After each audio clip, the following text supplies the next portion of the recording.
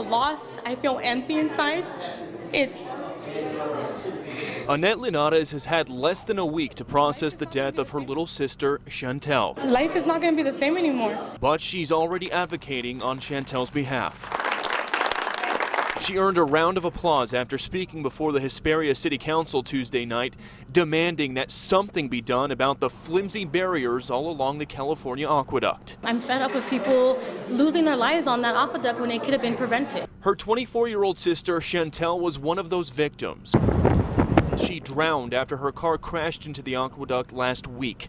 She was able to make one final phone call to her mom as the water was rushing in. The phone call was less than a minute, and all it was saying was, Mommy, I crashed. Mommy, I'm in the water. Mommy, I love you. It's the last thing she said to my mother. The pain was written all over the faces of Linares' family. They were supposed to be planning her graduation, not her funeral. We barely started going out, her and I. Now I miss her lot. And Linares isn't the only one to lose her life in the aqueduct.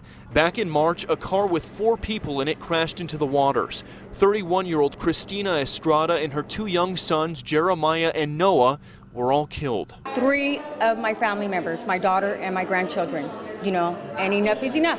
Carlotta Estrada lost three loved ones that day. She showed up to Tuesday's meeting frustrated that yet another family is now suffering. My grandbabies that went in the aqueduct as well, and this should have never happened because of City of Hesperia or the state or whoever. Whatever they have to do, they got to do, and they're not doing it. And the problem goes back decades. On July 4th, 1998, a woman was rescued after her car went into the aqueduct. And just four days later, the body of missing screenwriter Gary DeVore was found in the waters as well, after his Ford Explorer crashed into the aqueduct. She can worry, really?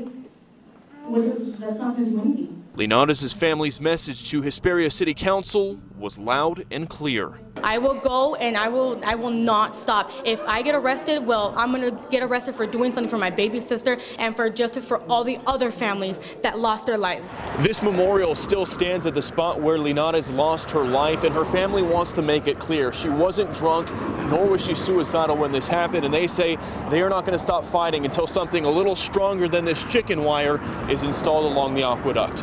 In Hesperia tonight, Bill Melugin, Fox 11 News.